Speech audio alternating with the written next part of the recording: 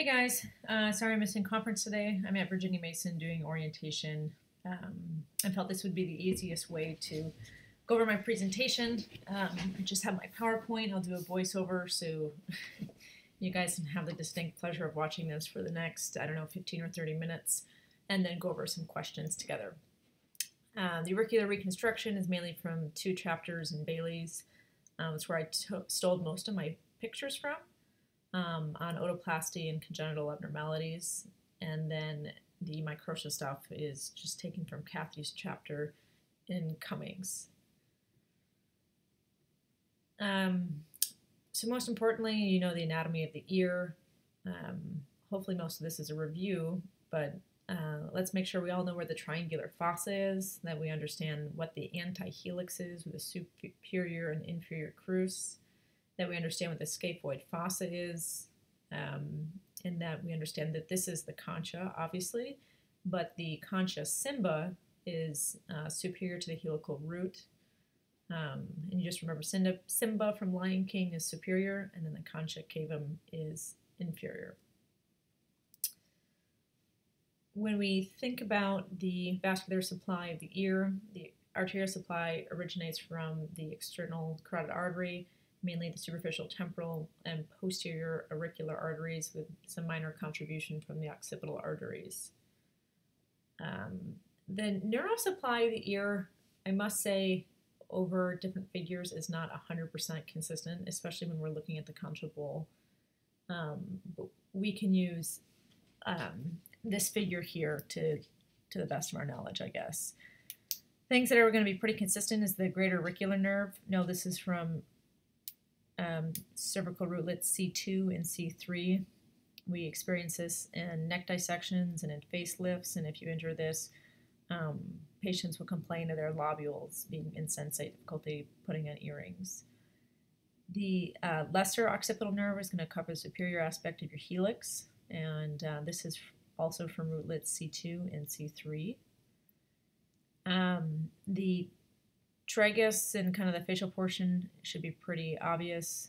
Um, this is the auriculotemporal branch, uh, cranial nerve 5. Um, when I've seen a few questions on this, they ask about the innervation of the concha.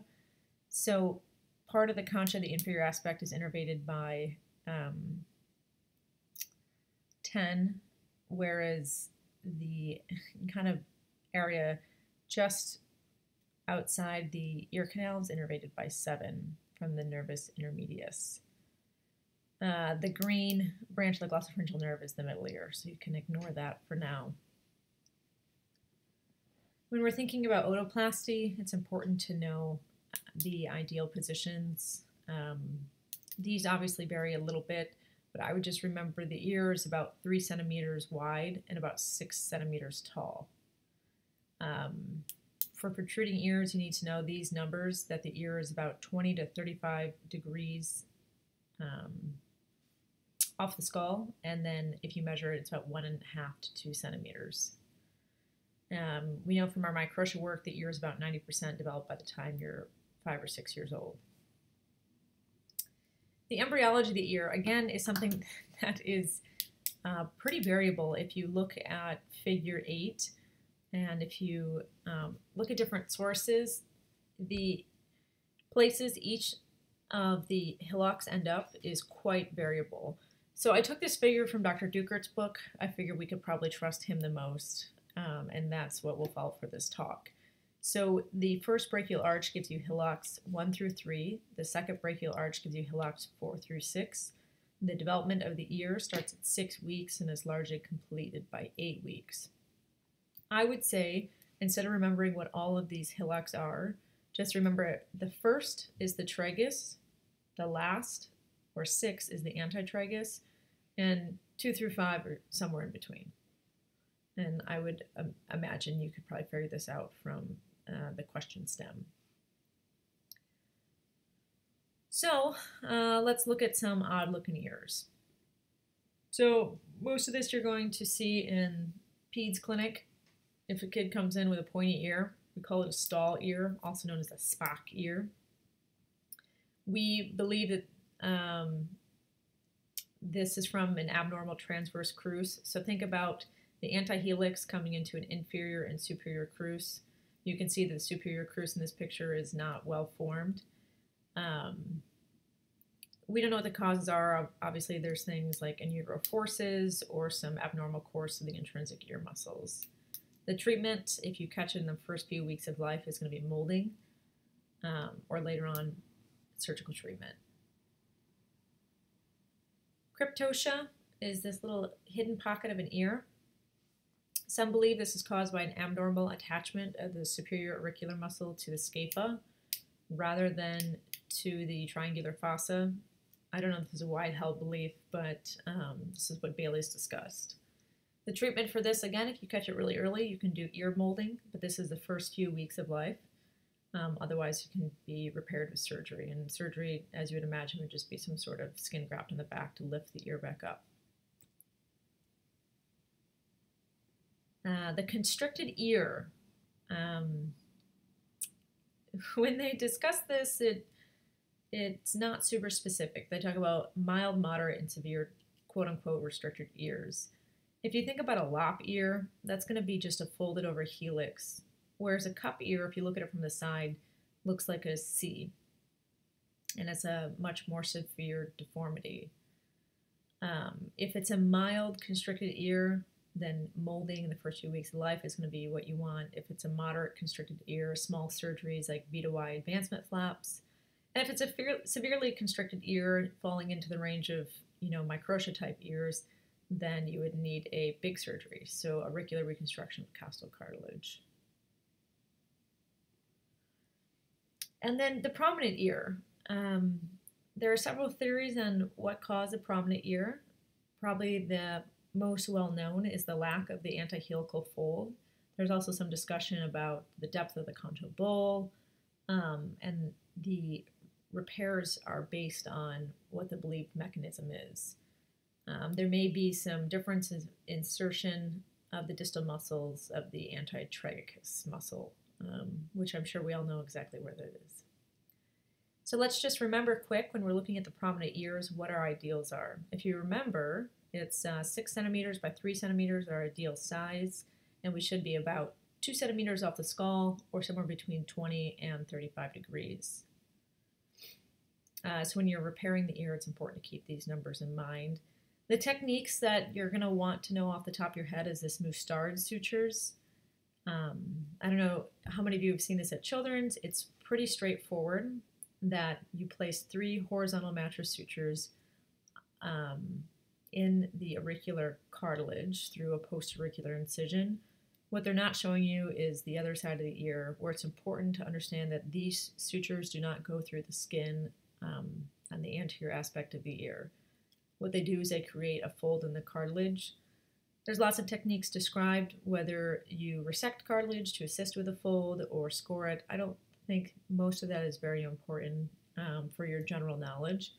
It's just knowing that the Mustarde are these mattress sutures that recreate the antihelical fold for protruding ear. Coakley does talk about the Stenstrom technique, um, which to the best of what I can understand is just scoring the cartilage before you put the sutures in. Um, the age of which to do this, um, I wouldn't say is consistently agreed upon. The paper that Coakley wanted us to review does say that it is safe to perform uh, otoplasty with these type of techniques in children less than four years old, and the um, repair is robust. Again, I don't know exactly when Kathy does just the straight up otoplasties, but I would imagine it's probably somewhere between four and six years old. Microtia, uh, just a quick review of microtia. The grading, as you recall, is pretty crude. So microtia 1 is a constricted ear with minimal tissue deficits. It looks like a pretty normal ear, just small. Microtia 2 is the absence of major portion of the ear. So this actually involves the severe cup ears we were discussing earlier with the quote-unquote constricted ear. Microtia 3 is the peanut ear, which is markedly deformed and only a small remnant of cartilage. And um, then there's anotia, which means the absence of ear. This picture comes from Dr. C's chapter in Cummings. Um, as do these photos, I stole them all from her chapter, so she should get all the credit for them.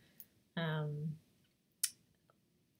they um, they want us to discuss a little about the Brent technique. Um, but basically, I just went over what Kathy does. So her her thing is the kid should be over six years old. Um, it's important to know the um, timing for the atresia repair. And from Kathy's standpoint, this should occur after the microtia repair. She uses the Nagata technique now. She used to use a Brent technique.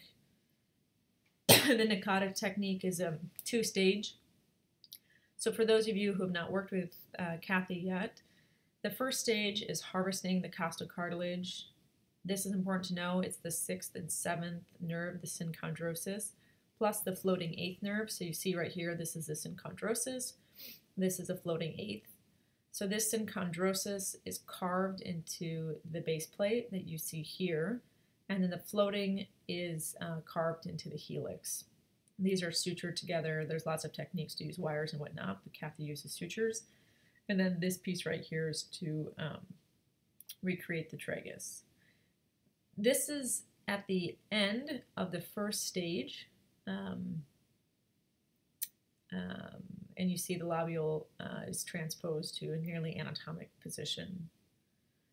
After the first stage, um, the second stage is pretty straightforward. It's just the elevation of the ear, as you see here, and the creation of a postauricular sulcus. So this is where the split thickness skin graft from the groin is placed there. Um, so uh, they want us to discuss ER consults and how uh, you would manage um, auricular trauma. So the first one is a partial avulsion. I'm not sure how many of you have dealt with this, um, but basically you can deepithelialize what um, what you have and put underneath the skin pocket. This was popularized by this Mladick in 1971 called the pocket technique. Um, and you kind of have to use your imagination for the variety of what your defect would be. Um, if there, if the ear is still attached, then we usually just sew it back on because um, it, it's pretty amazing how they'll survive. But say you have a complete avulsion of the ear, then um, you can use this technique for the partial avulsion, and so you can deepithelialize the entire uh, cartilage, and you can put it in a skin pocket. And um, in the post, you can try your best to put it in this uh, postauricular pocket so that when you do further stages to lift up the ear, then it's in a, um, an anatomic position. This was described by Mladick in 1971. Um, a little bit more uh, sophisticated is this Baudet. I don't know if I'm pronouncing his name properly, but in 1972, that idea was just to deepithelialize the posterior cartilage and put some fenestrations in the cartilage to um, assist with blood supply. And so that's what this picture is of here. So you de-up the posterior portion and then you just suture it back where it belongs. You make a skin flap um, so that your suture line is this hash line here. Obviously, this would require some um, additional surgeries to lift the ear up and skin graft the posterior aspect uh, after it's developed an appropriate blood supply. I haven't seen this specific technique used, but the photos in the paper they reviewed really didn't look great. and so in 1980, this guy, or Gail Pennington, um, did describe the first micro reimplantation of the ear. Um, this is described with and without venous anastomosis. Sometimes they just use the arterial anastomosis. Obviously, if they don't do a venous anastomosis, you have to put leeches or something in the ear to uh, provide appropriate drainage. And the benefits is that this is an improved cosmetic result. It should give it to you in one stage. And it preserves all your recon options. You don't burn too many bridges. Um, the risk is obviously you need special techniques to be able to do microvascular surgery. The vessels in the ear are very, very small and it's a bit finicky. So you want a short ischemia time. They didn't specifically um, designate what the time would be, but I would probably think, you know, in the four to six hour range. And the ear should be stored properly, so in a paper towel and um, on ice.